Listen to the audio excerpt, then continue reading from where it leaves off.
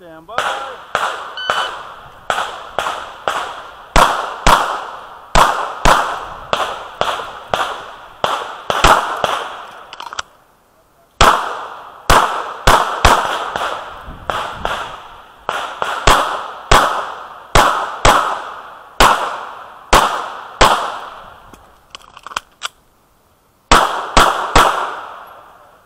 down and let it down. Clear.